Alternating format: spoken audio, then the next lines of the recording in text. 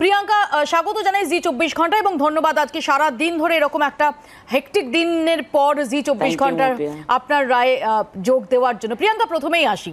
প্রিয়াঙ্কা প্রথম থেকে তুমি আত্মবিশ্বাস দেখিয়ে গেছো। এটা ঠিক সবাই বলছেন যে তুমি মাটি কামড়ের লড়াইটা দিয়েছ। কিন্তু আজকে যখন ভোট গ্রহণ পর্ব শেষ হয়েছে এবং সারা দিন ধরে আমরা দেখেছি তুমি একের পর এক অভিযোগ করেছ। কখনো তুমি বলেছ যে জল জমে আছে নির্দিষ্ট কোনো ওয়ার্ডে কখনো তুমি বলেছ যে ভুয়ো ভোটার তাকে তুমি পাকড়াও করছ? কখনো তুমি বলেছ যে আবাসনের বাসিন্দারা তাদের বেরোতে দেওয়া হচ্ছে না, এরকম একের পর এক অভিযোগ।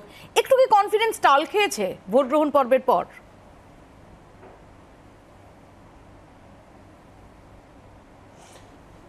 এটা শুধু অভিযোগ ছিল না মৌপিয়া। হোয়াট এভার আমি আজকে যা বলেছি, সবকিছু প্রমাণ করে দেখিয়েছি। সেখানে ভালো করে মিডিয়া সব জায়গায় ছিল, তাদের সামনে সবকিছু প্রমাণ হয়েছে। তোমাদের যারা ক্যামেরা পার্সন ছিল, তারা দেখিয়েছেন।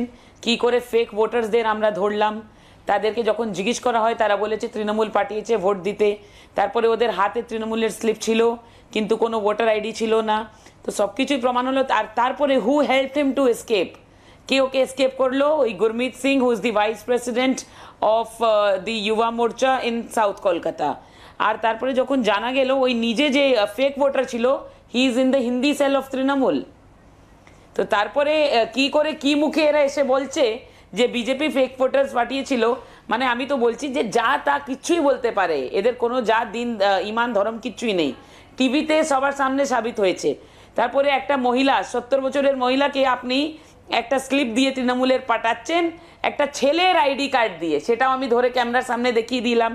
এটা তো কিচ্ছু ঘটনা যেটা আমি দেখিয়ে দিলাম। অনেকই প্রমাণে অনেক কিছু করেছে এরা, সব কিছু তো সম্ভব না, আমার একার জন্য ধরার। তো সেই জন্য আমি বলছি যে অনেক কিছু করেছে। আর সব থেকে বড় স্টেট ইলেকশন কমিশন একটা লিস্ট দিয়েছে। সেই লিস্টে কি আছে? সেই লিস্টে আছে who are the shifted voters are not found voters ওই লিস্টটা ঠিক করে করে সেই ষাট সত্তর জনের নাম, যারা আসছে তাদের নাম ঠিক করে আবার একটা ফর্ম সাইন করিয়ে এরা ওদেরকে ভোট করিয়ে দিচ্ছে। সেটা সরাসরি আমার চোখে যখন পড়ে যায় তখন ওনারা বলছেন যে না এটা তো শিফটেড ভোটার্স আছে সেই জন্য আমরা একটা ফর্ম ফিল করে এটা করিয়ে দিতে পারি। কিন্তু আমি যখন ঢুকেছি তার আগে ওরা এমনি ভোট করিয়ে দিচ্ছিল। তো এটা আপনি দেখে নিন স্টেট ইলেকশন কমিশনের উপরেও আমার খুব ইয়ে আছে which I will be raising this issue before the central election commission তো সবকিছু যা আমি বলেছি প্রমাণ নিয়ে তথ্য নিয়ে বলেছি হাওয়ায় কিছুই নেই। কি মনে হচ্ছে? একটা জিনিস আমার খুব মনে satisfaction দিচ্ছে জোর দিয়ে। বলছিলে যে না আমি জিতবে। কর্ম করেছি রেজাল্ট একদম, ওটাই বলছি। যে আমি কর্ম করেছি রেজাল্ট মানুষের হাতে, এটা আমি প্রথম দিন থেকে বলছি। কিন্তু এই স্যাটিসফ্যাকশন আজকে আমার মনে হচ্ছে যে রেজাল্ট যাই হোক, আমি অলরেডি উইনার বিকজ একটা মেয়ে যার শুধু আট বছরের রাজনৈতিক অভিজ্ঞতা আছে অ্যান্ড মমতা ব্যানার্জির রাজনৈতিক অভিজ্ঞতা is from the year eighty four যখন আমার এজ তিন বছরের। তখন আপনি দু তিনটে জিনিস কম্পেয়ার করে দেখুন। আমি এই পার্টির এক একটি লোক, এক একটি মন্ত্রী, এক একটি ক্যাবিনেট, এক একটি কাউন্সিলর, আমার যা লড়াই ছিল তার জন্য এদেরকে মাটিতে নামতে হলো। দুবারের মুখ্যমন্ত্রী, বিভিন্ন ধরনের সব কিছু ষড়যন্ত্র এরা ইউজ করল, কাকে হারাবার জন্য? একটা মেয়ে যার আট বছরের রাজনৈতিক ব্যাকগ্রাউন্ড আছে। তো এটা আপনি বলুন, এটা আমার হার না আমার জিত? প্রিয়াঙ্কা, আমরা এই কয়েক মাস আগে যে বিধানসভা নির্বাচন দেখেছিলাম, সত্তর এবং চুয়াত্তর নম্বর ওয়ার্ডে বিজেপির লিড ছিল। এই ওয়ার্ডগুলিতে যেখানে বিজেপির লিড ছিল, সেখানে কীরকম ভোট হলো আজ? লিড রাখতে পারবে? দেখো, আমি জানি না বিকজ এক্স্যাক্ট ওয়ার্ড ওয়াইজ আমার কাছে এখনও ইয়ে রেশিওটা নেই। তুমি দেখেছ, সকাল থেকে আমি আছি, এত এখন টায়ার্ড হয়ে গেছি। তো এইগুলো নিয়ে কালকে চিন্তা ভাবনা হবে। কিন্তু যা আমি দেখেছি টার্ন আউটটা সেভেন্টি ওয়ার্ডে সেরকম যে এক্সপেকটেশন আমার ছিল, সেই হিসাবে টার্ন আউট কিন্তু হয়নি। And even in seventy four যা আমার এক্সপেকটেশন ছিল সেই হিসাবে কিন্তু টার্ন আউট হয়নি কিন্তু হ্যাঁ হয়েছে বাট ওই এক্সপেকটেশনের হিসাবে টার্ন আউট হয়নি তো প্রিয়াঙ্কা, একটা কথা বলো যে যে টার্ন আউট আমরা এখনও অবধি দেখেছি লাস্ট আমরা যেটা পেয়েছি ফিফটি থ্রি পার্সেন্টের আশপাশে, আমরা তারপরের আপডেট পাইনি।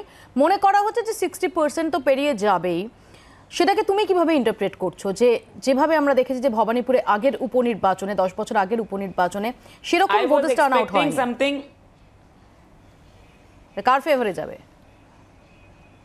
দেখো যদি আমি সরাসরি বলতাম যে আমি জিতছি বা জিতে গেছি তা ওই রেশিওটা what I am looking forward is কি সিক্সটি ফাইভ প্লাস হলে আমাকে খুব ভালো হতো। কিন্তু যা এখন ভোট পড়েছে সেটাও দেখতে হবে কোন ওয়ার্ডে কত কি ভোট পড়েছে, না পড়েছে বিকজ ইউ নেভার নো কোথায় কে ভোট করেছে, এখনও কেউ জানে না। তো সেই হিসাবে যা লাস্টে ভোট লাস্ট ইলেকশনে হয়েছে, তার আগের ইলেকশনে হয়েছে, ওই প্রমাণে বেশি করে ভোট পড়েছে which proves that people came out to the booth to vote for me Priyanka, একটা কথা বলে, যেটা তুমিও বললে, যে আমরা দেখেছি সারা দিন ধরে তুমি এ প্রান্ত থেকে ও প্রান্ত দৌড়ে বেড়াচ্ছ। আমরা দেখলাম যে মমতা বন্দ্যোপাধ্যায় একবার বেরোলেন জাস্ট তিন মিনিটের মধ্যে তার ভোট দেওয়া শেষ হয়ে গেল। তিনি সরাসরি আবারও ফিরে গেলেন তার কালীঘাটের বাসভবনে। আর সারা দিন ধরে ভোটের ময়দানে থাকলেন তার যারা বিশ্বস্ত সেনাপতি তারা। কিন্তু প্রিয়াঙ্কা টিবরেওয়াল তিনি এবং সজল ঘোষ, তোমার নির্বাচনী এজেন্ট, তারা ঘুরে বেড়ালেন। অনেকেই বলছেন যে সংগঠন কোথায়? প্রিয়াঙ্কাকে প্রায় ওয়ান ম্যান আর্মি হিসেবে দেখা যাচ্ছিল। এটা তো অনেক সময় একটা ডিফারেন্স গড়ে দেয়, এটা তো ভীষণভাবে ম্যাটার করে। এটা কি আজকে তুমি মিস করেছ, নাকি তুমি এটা নিয়ে কনফিডেন্ট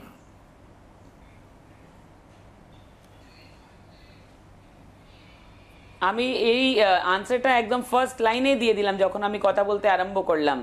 যে প্রিয়াঙ্কা তিব্রেওয়াল, রাজনৈতিক experience eight years Mamata Banerjee's রাজনৈতিক experience is around thirty eight years which is as as equal to my age হ্যাঁ কিন্তু তোমার সংগঠন কোথায় ছিল আজকে? ঠিক আছে তো সেটাই is সাংগঠনিক যে সাপোর্ট. পাওয়ার কথা ভোটের দিন। সংগঠন পুরো সব দিকেই ছিল দেখুন। হুম। আমরা তো আইন মেনে চলি না ভাই।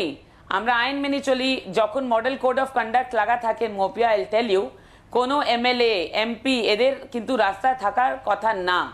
আমরা দেখেছি আজকে মদন মিত্রা এসে রাস্তায় সেখানে খালসা স্কুলের কাছে এসে বসে গেলেন যখন একটা ফেক ভোটারকে ধরা গেল। কি করে উনি এটা এমসিসি কন্ডাক্টটা ভেঙে ওখানে ঢুকলেন? আমার প্রশ্ন। তারপরে আমরা দেখলাম যে প্রত্যেকটি কাউন্সিলর রাস্তায় ঘুরছিলেন। কি করে এটা সম্ভব? আপনি আমাকে বলুন। তো এরা তো আইন মানে না ল মানে না কিছুই মানে না। আর তৃণমূল কংগ্রেসের একের পর এক নেতা অভিযোগ করেছেন যে আজকে আপনি যা যা অভিযোগ করেছেন সেগুলো সমস্ত নাটক ছিল।